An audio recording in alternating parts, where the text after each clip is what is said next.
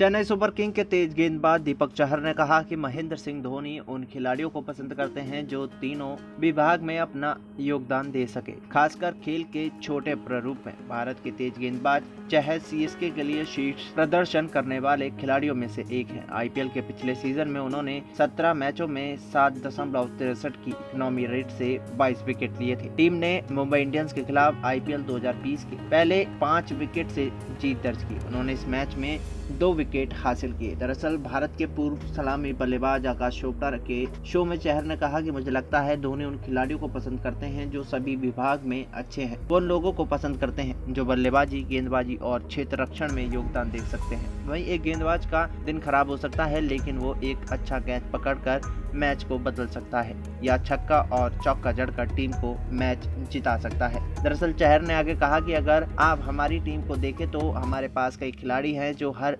विभाग में अच्छे हैं। टी एक ऐसा प्रारूप है जिसमें आपको सब कुछ करने की आवश्यकता होती है। आईपीएल में बहुत सी टीमें हैं जिनके पास मज़बूत बल्लेबाजी या मज़बूत गेंदबाजी आक्रमण है, लेकिन वो कुछ क्रिकेटरों पर निर्भर है। यदि वो अच्छा करते हैं तो वो अंत में आपको अपने दम पर मैच जिता देते हैं। लेकिन यदि वो अच्छा नहीं खेलते तो टीम संघर्ष करती है। गौरतलब है कि Chahar Rising Pune Super Giant में धोनी की कप्तानी में खेल चुके हैं और अब वो चेन्नई में उनकी कप्तानी में खेल रहे हैं। चहर ने धोनी को व्हाइट बॉल क्रिकेट का महान कप्तानों में से एक बताया। उन्होंने कहा, आमतौर पर आप उन गेंदबाजों को पुरानी गेंद नहीं देते जिनकी गति 120 या 125 किलोमीटर प्रति आर होती है। लेकिन जब मैं आरपीएस के लिए खेल रहा था और सीएसके के लिए भी मैंने लगभग 140 किलोमीटर प्रति घंटे की रफ्तार से गेंद की, फिर भी उन्होंने मुझे डेथ ओवर में गेंद नहीं थी। इस बारे में मैंने माही भाई से पूछा। उन्होंने मुझे दो शब्द में जवाब दिया और फिर मैंने ज़्यादा कुछ नहीं कहा। इसलिए मैंने गेंदबाजी कोच से इसे लेकर कई बार पूछा। उन्होंने ये भी कहा कि मुझे डेथ ओवर में गेंदबाजी करनी चाहिए तो अंत में मैंने कुछ हिम्मत जुटाई और माही भाई से पूछा। उन्होंने कहा कि मैं खिलाड़ियों को तैयार करता हूँ। इसके अलावा उन्होंने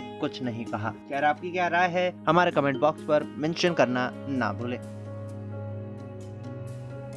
एल डी न्यूज़ रूम की रिपोर्ट।